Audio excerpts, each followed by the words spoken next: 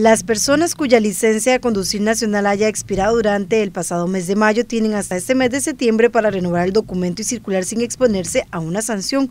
Los documentos que hayan vencido antes de mayo no cuentan ya con ningún periodo de gracia. Así se establecen las prórrogas dadas por el Ministerio de Obras Públicas y Transportes, con el fin de velar por el interés público y valorando las condiciones que se viven en el país producto de la emergencia sanitaria por COVID-19 y que obligó a interrumpir los servicios por varias semanas entre los meses de marzo y junio pasado.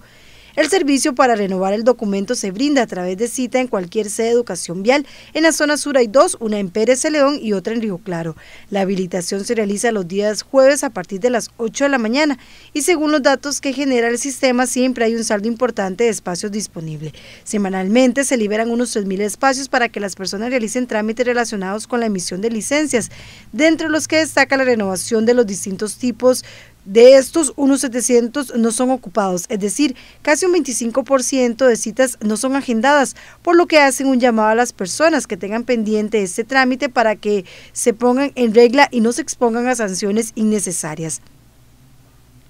La subdirectora interina de Educación Vial, María Eugenia Salazar, aclaró que el panorama es diferente para las licencias extranjeras por las condiciones necesarias para brindar precisamente este trámite son diferentes y la capacidad instalada es menor. En el caso de la homologación de licencias, tienen capacidad de habilitar cada semana 350 espacios para atender a ese segmento de población.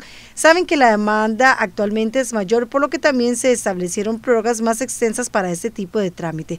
Así, el periodo de gracia a los conductores que desde el 17 de diciembre de 2019 se encuentren en el país en condición de turistas, de manera que pueden conducir utilizando la licencia de su país hasta el 18 de noviembre de 2020.